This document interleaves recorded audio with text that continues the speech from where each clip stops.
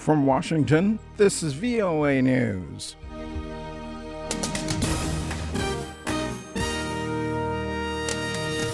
Turkish police dispersed demonstrators in Istanbul's Taksim Square, and the U.S. files extradition papers on Edward Snowden from Hong Kong. I'm Vincent Bruce reporting from Washington. In Turkey, protesters threw carnations at police who turned water cannon on the demonstrators in Istanbul's Taksim Square. Turkish police dispersed the thousands, saying they were in defiance of a government order. Many of the protesters said they came out to pay respect to four people killed in the almost month long protests.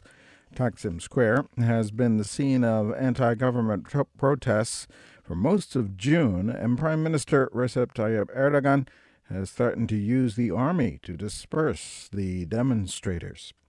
The White House says the U.S. government has asked Hong Kong to extradite Edward Snowden, the former government contractor facing espionage charges for exposing secret U.S. surveillance programs.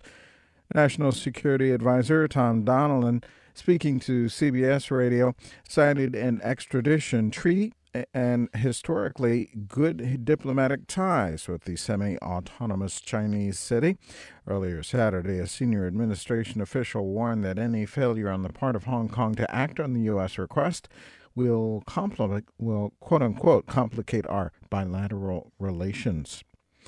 A new political party Agang has launched Saturday in South Africa.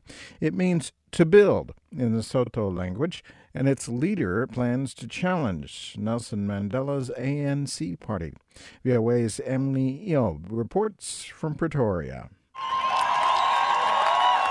Mamphela Ramphele, the leader of Agang, wants to make it clear she is here to start a political fight against the ANC, which has been ruling South Africa since 1994 and the end of apartheid.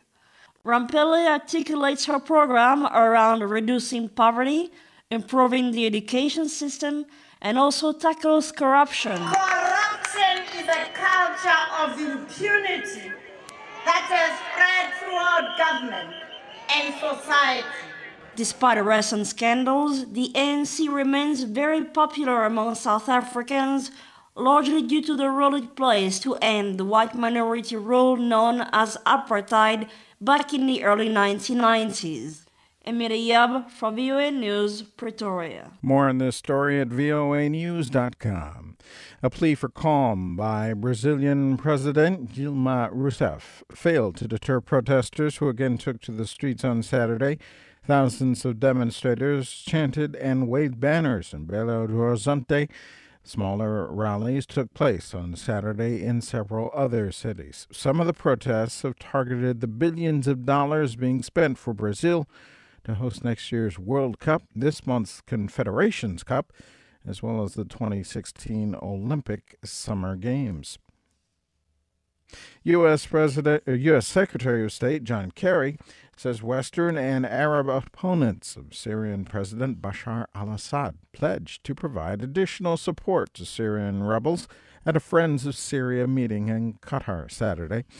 Kerry says ministers from 11 countries committed to giving rebels more military or humanitarian aid in a bid to end two years of fighting that have killed tens of thousands of Syrians. Kerry says while the U.S. is stepping up assistance to Syrian rebels, the best way to resolve the conflict is through negotiations. President Barack Obama says he will uh, unveil his agenda for fighting climate change in a speech on Tuesday. As VOA's Kent Klein reports, Mr. Obama's plan will rely largely on executive action rather than legislation. Mr. Obama announced his plans in a web video posted online on Saturday. This Tuesday at Georgetown University, I'll lay out my vision for where I believe we need to go. Mr. Obama has not revealed details of his plan. White House officials have suggested they will include encouraging renewable energy and energy efficient appliances and buildings. There's no single step that can reverse the effects of climate change. But when it comes to the world we leave our children, we owe it to them to do what we can. Environmental legislation has encountered stiff opposition in Congress. So the president is expected to propose a series of executive actions. Many of them are likely to be carried out by the Energy Department and the Environmental Protection Agency. Kent Klein, VOA News, Washington. Hundreds of people are reported stranded or missing after flash floods and landslides initiated by a monsoon in northern India. According to forecasters, heavy rainfall is expected to continue for days in the area. President Obama is calling on lawmakers to support legislation to fix the nation's broken immigration system. In his weekly address early Saturday, Mr. Obama says the immigration bill being debated in the Senate strengthens border security, increases penalties against traffickers, and creates a pathway to citizenship. I'm Vincent Bruce, VOA News.